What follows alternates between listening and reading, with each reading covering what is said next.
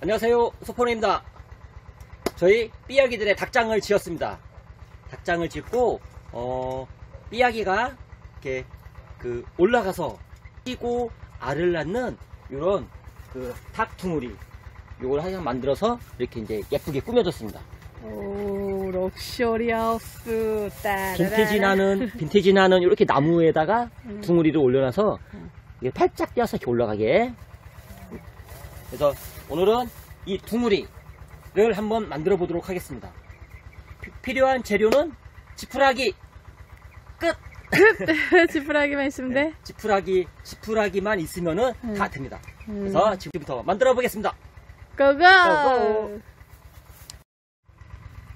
닭 둥우리를 만들기 전에는 필요한 아, 선, 선 작업이 어, 요 지푸라기로 새끼 꼬기 새끼 꿔봤어? 새끼 예전에 꼬아 봤지 잘 꿔요. 잘 꼽니다 새끼 좀 꿔본 남자? 발로 밟아주고 잡고 돌려줍니다 비벼주 비벼주세요.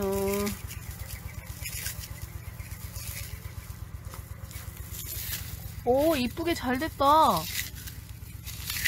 내가 좀 하지 오. 이야. 자 이렇게 해서 굵은 새끼 한줄 음. 얇은 새끼 두줄 어, 이게 이게- 새끼 세 줄만 있으면 음. 둥우리를 만들 수 있습니다. 음. 한 줌씩 해서 이렇게 X자로 딱 이렇게 잡아준 다음에 얘를 새끼로 묶어줍니다. 이렇게 묶어서 얘를 X자로 이렇게 해주면 이제 시작이에요. 딱 이렇게 해서 얘를 발로 딱 밟아. 그래서 이 바깥쪽에 있는 애를 이렇게 안으로 수그려. 반대편으로, 어. 반대편으로 이렇게 수구리, 어, 수구리. 어, 내 쪽으로 안쪽으로 이렇게 수그리고 음. 바깥 이쪽에 있는 지푸라기를 당겨서 여기 새끼줄에다가 돌돌 묶어줘요. 이 접은 애가 안 풀리게. 음. 이렇게 음, 이렇게 새끼줄로 묶어서 딱 한 번 감고 음. 요 사이에다가 안 딱, 풀리게 어, 딱 껴줘 이렇게. 고정. 응. 음, 이렇게 해서 그러면 계속 반복하면 되는구나. 음. X자를 만들어야 되니까 이쪽에다가 음, 놓고 발로 밟고 음. 얘를 제껴. 반대편으로 또 제끼고. 음. 한, 한 두 줄 빼서 음. 또 새끼에다가 돌돌 묶어줍니다. 음. 그리고 여기에다가 쏙 껴주고. 음, 이제 요거 요 방법을 계속 반복. 반복해서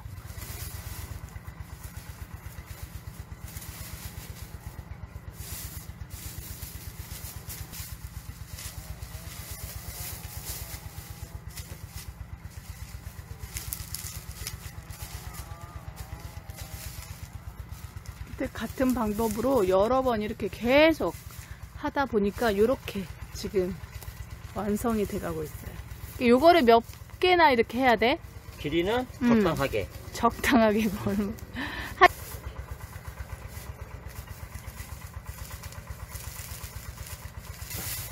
오, 드디어 이제 완성이 됐네요. 끄트머리도 어. 얘를 여기를 돌돌 말아서 한 번 이렇게 묶어줘. 아, 길을 새끼로? 새끼로. 응, 안에다 이렇게 껴서 음, 안 아. 펴지게. 열 하나는 하나, 둘, 셋, 넷, 다섯, 여섯, 일곱, 여덟, 아홉, 열, 열한 개 있네. 음, 얘는 열하나? 그래서 이만큼 길으니까 오. 닭이 충분히 이제 올라갈 수 있죠. 오, 근데 이 초가지붕 같다. 이렇게 해봐. 이렇게 세워봐. 오, 아니, 지붕처럼. 오, 꼭 초가지붕 같다, 이거. 초가 지붕. 어, 미니어처. 초가 지붕 뭐 이형을 엮는다고 하잖아. 어, 그거. 이런 식으로 엮나? 어.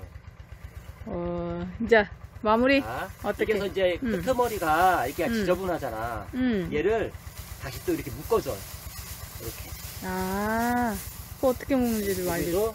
이쪽도 이렇게 묶어주고. 음, 그래서 아까 필요했던 게, 새끼. 어, 이 얇- 새끼줄. 얘는 가운데는 좀 두껍고, 음, 좀 얇은 새끼로 묶어주겠습니다. 엮, 엮는 거지. 음. 이렇게 해서 두 줄.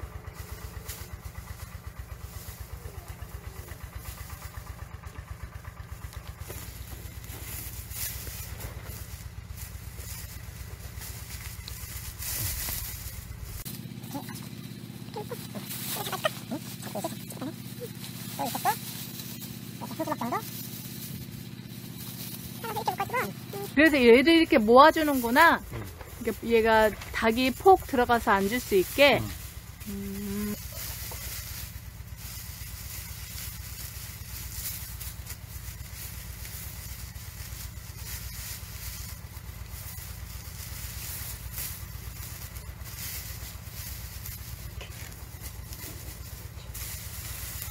이렇게 묶어주고. 이쪽도 이렇게 묶어주고. 음. 자, 아, 이제 이렇게 끝에 이렇게, 이렇게 된 거죠. 어. 하나로 이렇게 모아졌다. 그 끝에 여기 너저분하게 돼 있는 거는. 여기는 끄트머리는 이제 정리를 하면 돼요. 오, 여기. 아, 여기에 이렇게 들어가서 앉아서 이렇게 낳는구나. 음.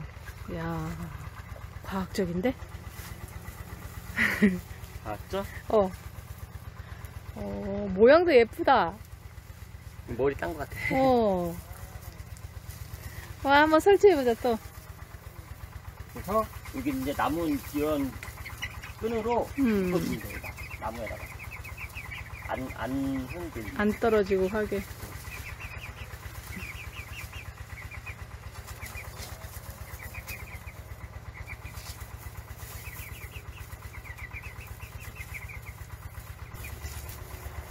새끼를 너무 길게 안 까도 되겠네.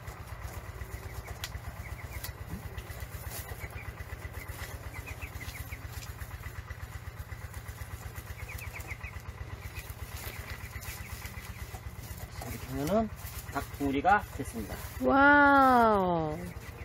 또르로로로. 또르로로. 자, 입주, 강제 입주. 강제 입주. 그래서 와. 오, 여기서 이렇게 사는 거야. 점프! 내려!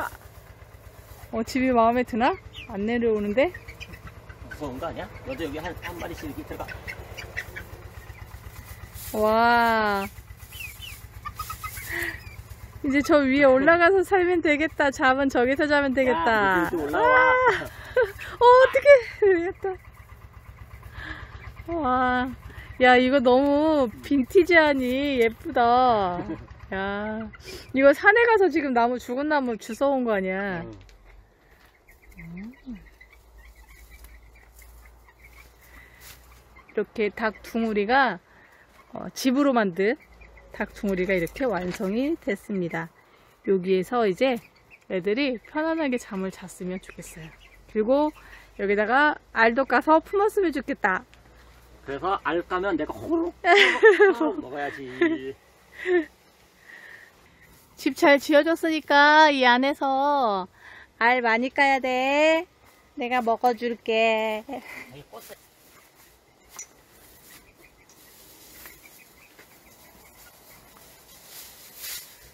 오, 빈티지 하우스. 이렇게 해서 닭 둥우리 두 개를 만들었습니다.